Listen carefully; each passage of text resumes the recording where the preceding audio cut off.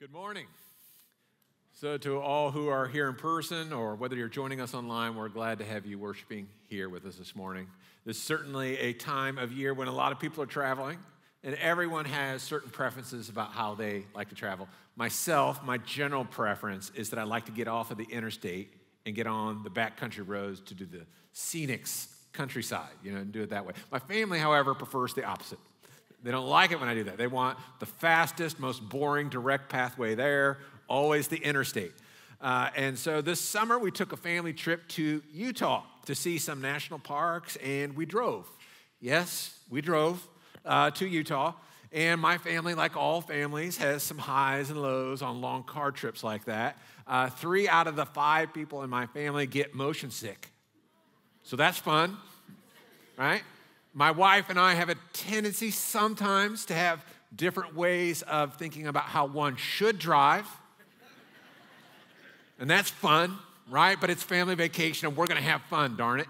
And so we drove, we are gonna drive longer into Utah. So we took two days to drive there, uh, but we spread it out over two days. On the way back, we were gonna drive from Moab, Utah to Columbia in one day. So uh, if you type it into Apple Maps, you can see there's three different routes you can kind of go. Uh, you know, and one is just the straight shot path. I mean, it is getting on I 70 all the way through Colorado, Kansas, all the way to Columbia. It, and it takes about 15 hours to drive it. But if you want to avoid Kansas, let's just say, right?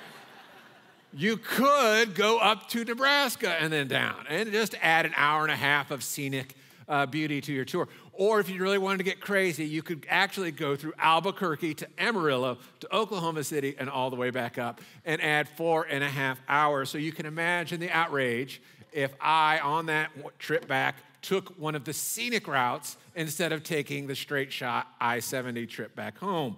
I might have been beaten and left along the road, still kind of walking and trying to make my way back to Columbia.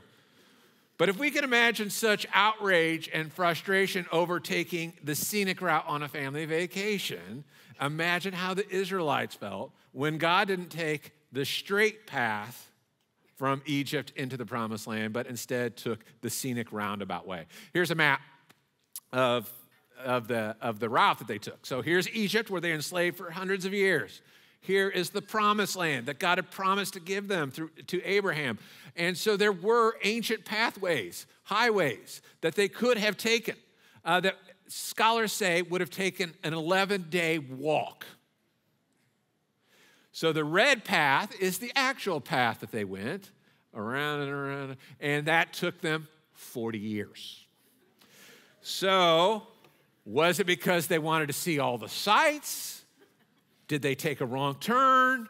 Was their GPS system faulty?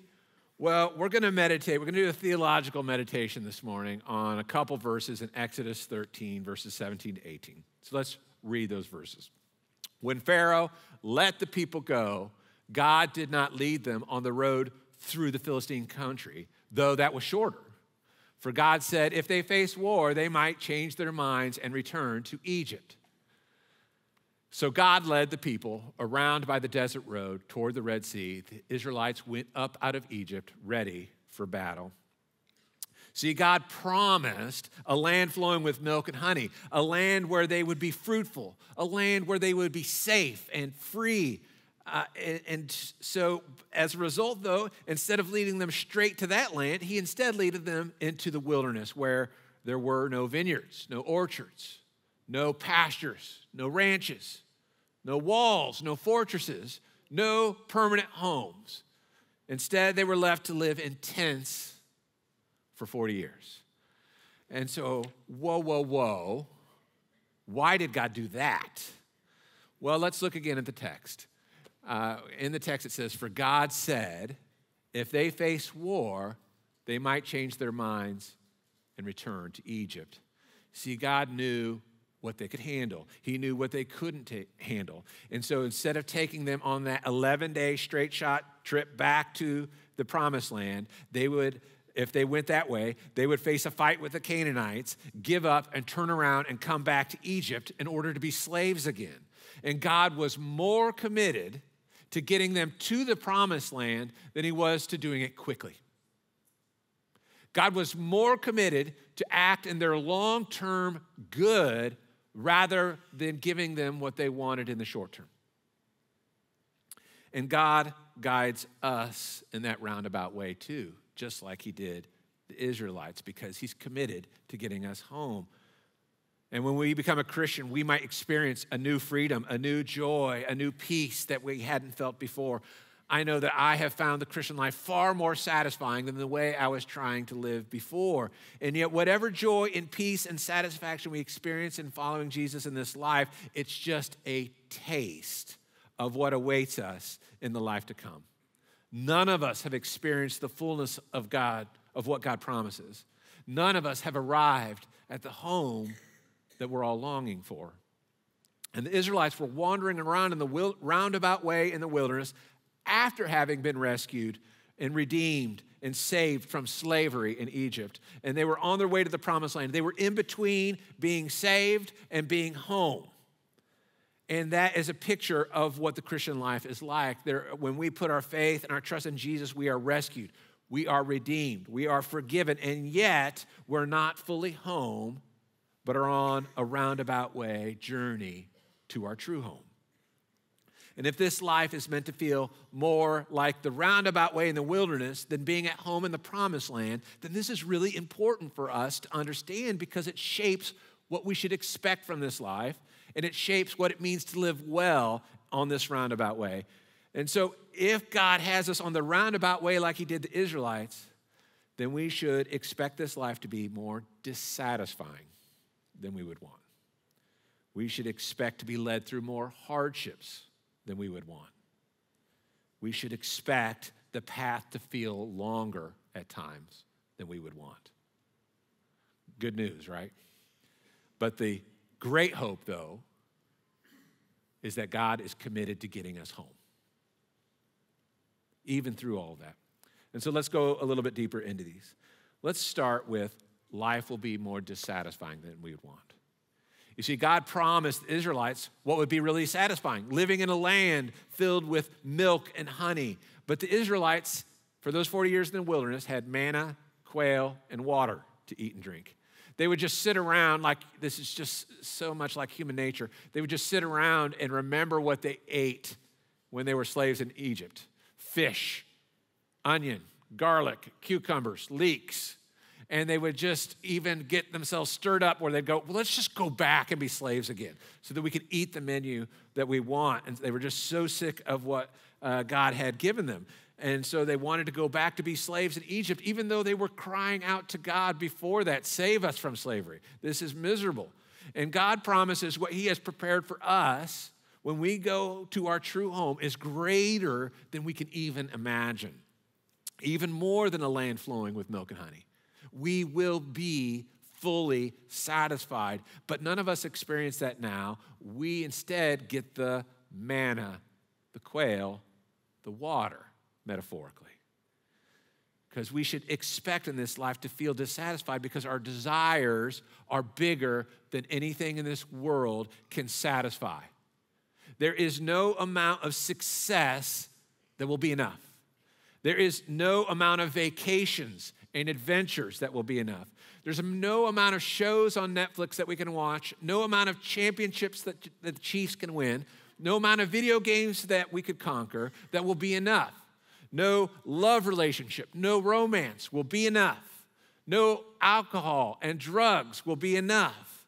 The only thing that will be enough to satisfy us is the home that God is preparing us and being at home with Him there. And so in this life, we're going to long for more than what we can get out of this life. But we can't go backwards thinking that we're going to be satisfied if we go backwards. Backwards is slavery. Going back to Egypt for the Israelites was returning to be a slave. And all of these unmet desires that we experience in this life tempt us to abandon the road home and instead to live just for this life.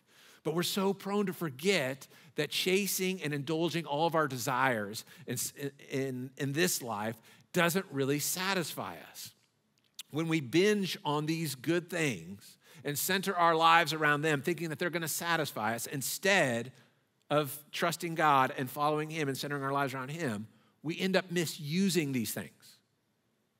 They enslave us, they addict us, and they make us lesser versions of ourselves. And so, what helps us to stay the course and keep going home when we have these unmet desires? Well, the Israelites needed to remember that God promises to provide for them even in the wilderness. He promised to ultimately satisfy them with the home that He's leading them to, a land flowing with milk and honey. But He also promised to provide what they need, not necessarily what they want, but what they need as they walk through the wilderness. And we can keep going by remembering that God promises to provide what we need, not necessarily what we want as we travel along this roundabout way in this life. See, if we're going to travel well on the roundabout way, then we must learn to cultivate contentment with what God provides rather than spending our lives longing for what He hasn't given us. We need to learn to not chase the illusions that promise to fully satisfy us in this life when that's not going to happen. We need to be careful about cultivating an unhealthy discontentment with what God provides. You know, maybe we need to be careful about how many home improvement shows we watch. You know, maybe we need to be careful about how many home decorating magazines we read or how we're using social media and all these ways that keep us from cultivating a healthy contentment with what we already have, with the bodies we have, with the friendships we have, with the place that God has us. Maybe we need to stop dreaming about and planning the next vacation when we just got back from the first one, that we miss out on the life that God has us here, even amidst the mundane ordinariness of our lives. You see, contentment trains us to say that none of these things are necessarily bad. These can even be good gifts that God wants us to enjoy, but that the stuff of this life won't fully satisfy us if we try to use them that way. And so we learn to say, that's enough in order to live out the other priorities that God has for us.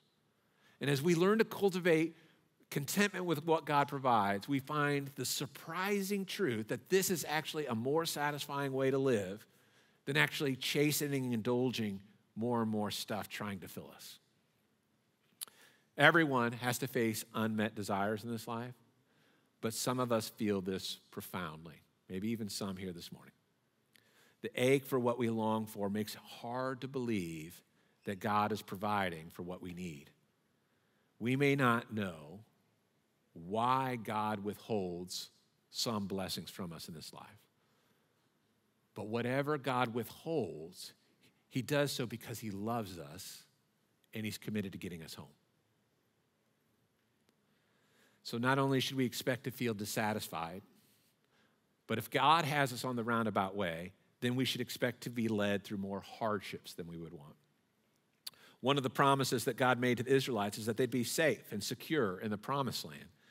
And we can imagine how encouraging that would be after years of being mistreated as slaves in Egypt. But on the roundabout way, God led them into all kinds of hardships. Other nations wanted nothing more than to wipe Israel off the face of the earth, and yet God led them into open country without any walls, without any fortresses. You know, God led them into all kinds of dangers in the wilderness the heat, the desert, wild animals, lack of food, lack of water. I mean, it seemed like the opposite of safety and security. And yet, God told them he would, he would be their safety and security, even amidst through those hardships. He wouldn't take them away from those hardships. It's not wrong to want safety and security. It's not. But to make us fully safe right now, God would have to pull us out of this world, and that's not what God promises to do nor does, it, does he promise that the path that he leads us on will avoid hardships. But he promises us his presence with us. He promises us ultimate security in the life to come, but even through the hardships now in this life, he promises to be with us and to give us what we need. And we live in a day and age when it seems so easy to cultivate fear and anxiety. We have global news that's telling us all the things that could go wrong or are going wrong in the world today. And it seems that some news sources have seemed to make their business model making us uh, in a constant state of, of outrage and distress about what's going on in the world. And if we end up consuming too much of a diet of this, it's easy to begin to see the world in a, in a godless way, meaning that we see the world absent of God being at work, even amidst the chaos and the hardships of the world. That we don't believe that God is at work in the chaos and the hardships of our life. And we miss out experiencing the peace that comes from believing that God is present with us, even through the hardships. And perhaps the best way to cultivate this kind of peace is to surrender. See, God wants us to go through hardships with Him. And that means He wants us to come to Him and tell Him the things that we're worried about, the things that we're afraid of, and then to be able to yield it to Him, to trust that He knows the path that we should go better than we do, and to remember that He promises to be with us. And thirdly, if God is leading us on the roundabout way, then we should expect it to feel longer than we would want it to be. And so the Israelites had to live in tents in the wilderness for 40 years when they could have gone a straight path that would have taken 11 days. And can you imagine how hard it would be to trust God through that? Can you imagine how you would wonder if, if you would ever get to that promised land, if it was going to be worth it? And when I was a young Christian in college, my life changed so much in a short span that I thought the Christian life was going to feel quick and easy. And now, as I'm approaching 50, I think the road has felt longer than I ever thought it would. And I realize that I have so much longer, even still, to go than I thought was, I was going to feel like. It has taken me longer to become the person that I want to be. It's taken me longer to heal from the wounds that I didn't even know I had at the time. It has taken me taken more perseverance through more hardships, through more unmet desires than I thought I would have to go through. But this is what we should expect if God is leading us on the roundabout way. And so let's pause and wrestle with a couple questions here. The first is why doesn't God just give us what He promised us?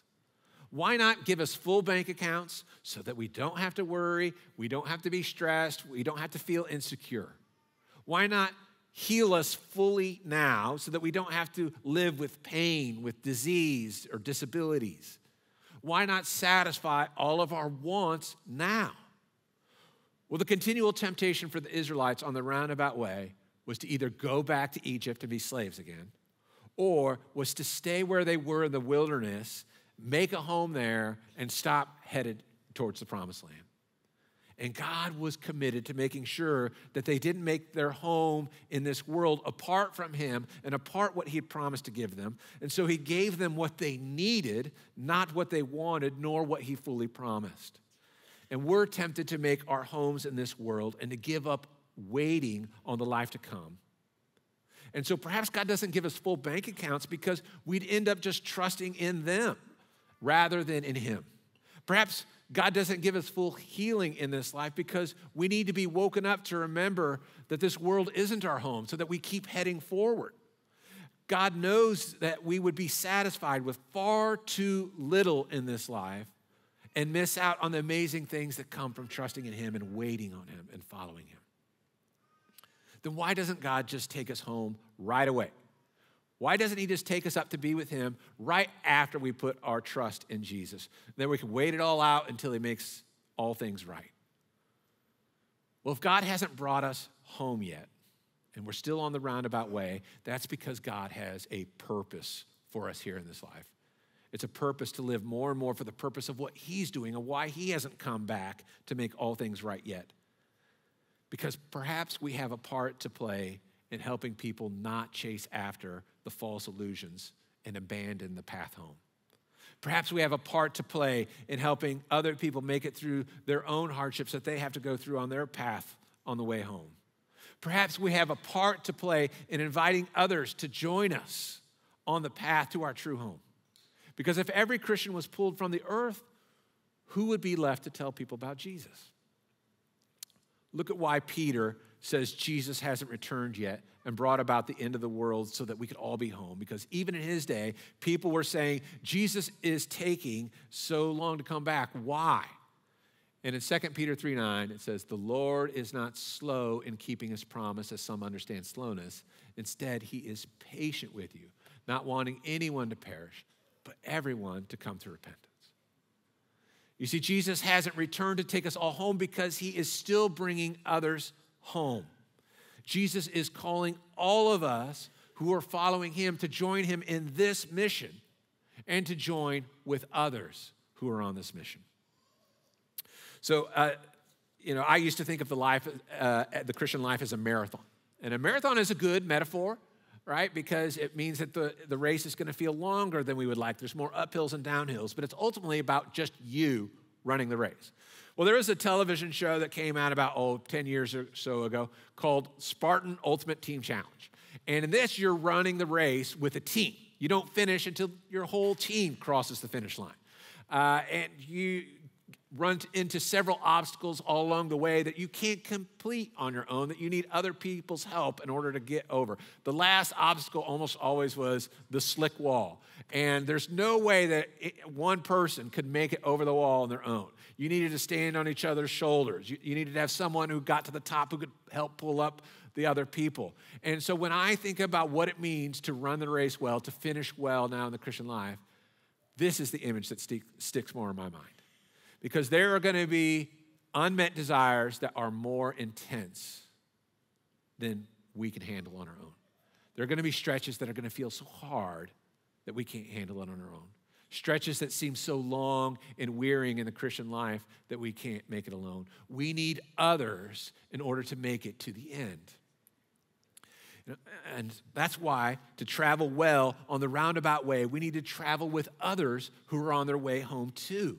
This is how we cultivate perseverance in the long stretches on the roundabout way home. We travel with others. And at the crossing, we have all kinds of groups and studies and classes that will be starting up this fall. Maybe if you haven't been in one, it's a time and a window to step into one, to travel well with others, to learn from others and make some connection with others, open up with others about what's hard. Uh, maybe it's time to jump back in one if it's been a while since you've been in one. And so that's something what it looks like to travel well when the stretches get long. But if you're like me, all of this is hard. Uh, I don't like the fact that God is taking me uh, in this long, roundabout way rather than taking me on the short way home, the quick, easy way. And so, how do we trust God when this is where He leads us? And so, how did the Israelites do it? Well, one, they stumbled in all kinds of ways. It was tough for them to trust God. But they could always look back and look at the miracles that God did and, you know, the plagues, the parting of the Red Sea, and they could look back and they say, Look at what he's done to deliver us, and this is what he's promised us. Surely he's able to get us home. Surely he loves us and cares for us and will finish the, what he started. And the miracles of the Exodus are just a mere foretaste of the greater deliverance that Jesus has made possible in his life, in his death, in his resurrection. And so we too can look back and see, look at what God has done. Look at what He endured in order to save us. And even though we're not home yet, and times when it feels long and hard and difficult, it's hard to know sometimes that God is providing for us. It's hard to feel like He is with us. It's hard to feel like He has a purpose for us, much less that He loves us. And yet we can look back to the cross and remember that He does. If he is that committed, if he is committed enough to do that for us, surely he's committed to finishing the job in our life. You see, God doesn't promise, though, to connect all the dots for us in this life as to why he leads us in the ways that he does or why he gives us what he does compared to what he gives to other people. But Exodus 13, 17 to 18 remind us that God knows what we can handle and what we can't and that He is committed to getting us home. The question is, is are we willing to trust Him? Are we willing to follow Him? Wait on Him. Columbanus was a sixth century Irish missionary and monk, and he wrote this poem What are you, human life? You are the road to life, not life itself. You are to be traversed but not inhabited, for no one dwells on a road but travels it, so that those who walk upon the road may dwell in their homeland. You see, how do we view this life? Is it our home or is it the road to home? And if it's the road to home, the road is going to feel longer at times. It's going to take us through some hard stretches, and it's going to be hard at times to keep going forward and not go back. But the home that we have been looking for all of our life will be worth whatever hardships we had to go in order to get there. The road will seem easy and short compared to the joy of being home. C.S. Lewis, in the last battle, the last of his Chronicles of Narnia books, he tries to help us to feel like what it'll feel like when we get home to the new heavens and the new earth, when he describes it this way. The difference between the old Narnia and the new Narnia was like that. The new one was a deeper country. Every rock and flower and blade of grass looked as if it meant more. I can't describe it any better than that. If ever you get there, you will know what I mean. It was the unicorn who summed up what everyone was feeling. He stamped his right forehoof on the ground and he neighed, and then he cried, I have come home at last. This is my real country. I belong here. This is the land that I've been looking for all of my life, though I never knew it till now. The reason why we love the old Narnia is that it sometimes looked a little like this. Friends, let's trust God to get us there through those hardships, through those unmet desires, through those long stretches, and to bring us to this home. Amen.